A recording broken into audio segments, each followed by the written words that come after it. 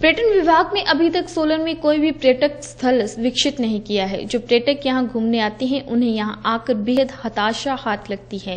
पर्यटन विभाग अपनी फाइलों में तो पर्यटक स्थलों को विकसित करने के लिए बहुत बड़े बड़े दावे करता है, लेकिन आज तक कोई भी योजना सिरे नहीं चढ़ पाई है। सोलन करोड़ पर स्थित पांडव गुफा तिब्बतियन बौद्ध मेनेस्ट्री पहाड़ी क्षेत्र में स्थित एशिया का सबसे ऊँचा मंदिर जिटोली या पैंसठ सौ फीट पर स्थित ऐतिहासिक किला सभी पर्यटन स्थल के तौर पर विकसित होने की बाट जो रहे हैं, लेकिन अभी तक सरकार ने किसी भी तरह की कोई पहल नहीं की है।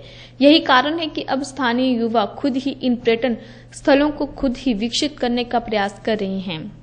ऐसी ही अनूठी पहल धारू की धार पर स्थित ऐतिहासिक किले के समीप स्थानीय युवक जगमोहन ने की है जिसने बिना किसी सरकारी मदद से वहाँ यूको टूरिज़्म पर आधारित यूनिट खोला है जो पैंसठ फीट की ऊंचाई पर है। और, और यहाँ की खास बात यह है कि यह स्थान जहाँ पानी बिजली की कोई कल्पना भी नहीं कर सकता है वहाँ पूरी, पूरी आधुनिक सुविधाएँ दी जा रही हैं। यही नहीं यहाँ आने वाले पर्यटकों को स्वादिष्ट खाना भी खाने को मिलता है। अधिक जानकारी देते हुए पर्यटन स्थल को विकसित करने वाले जगमोहन ने बताया कि वह कई तरह के साहसिक खेल यहाँ करवाए जा रहे हैं।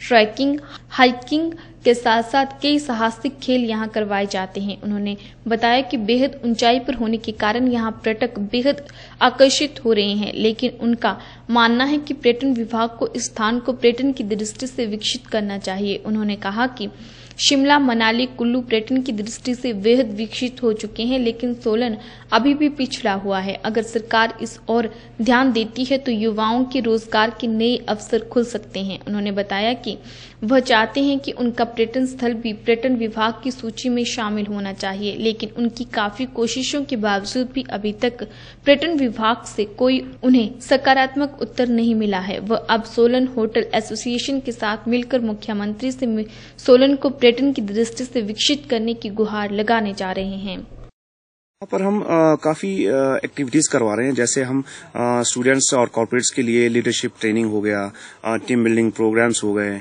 और कुछ एडवेंचर स्पोर्ट्स हो गए लाइक हाई रोप कोर्सेज हो गए जिप लाइन जिप लाइन हो गया rock climbing rappelling valley crossing Zumba meditation yoga ये सारी चीज़ें हम लोग यहाँ अपने आ, दम पर करवा रहे हैं अभी। और मैं चाहता हूँ कि गवर्नमेंट इसमें थोड़ा सा अगर इनिशिएटिव ले हमारी प्रदेश सरकार तो इसको और भी बहुत आगे बढ़ाया जा सकता है। सरकार से एक दरख्वास्त है कि यहाँ पर जो है एक तो हमारे रोड्स को अच्छा बनाए और यहाँ टूरिज़्म को और थोड़ा इम्प्रूव किया जाए ताकि यहाँ डीटीओ साहब को खासकर मैं रिक्वेस्ट करूँगा कि यहाँ पर कुछ और इनिशिएटिव लेकर फॉरेस्ट के साथ मिलकर, कुछ और इस तरह के जो हमने बनाया है एक रिजॉर्ट कैंपिंग साइट इस तरह से दो चार और इस तरह से कुछ अगर बन पाए तो टूरिज़्म काफ़ी अच्छा यहाँ चल पाएगा। मैं चाह रहा हूँ कि यहाँ पर जो है हमारी एरिया जो है डेवलप होने वाले अभी जैसे धारो की धार का किला है, इसको डेवलप किया जा सकता है, करोल का टिब्बा उसको डेवलप किया जा सकता है, और यहाँ काफ़ी अच्छा एक टूरिस्ट हब जो बनाया जा सकता है।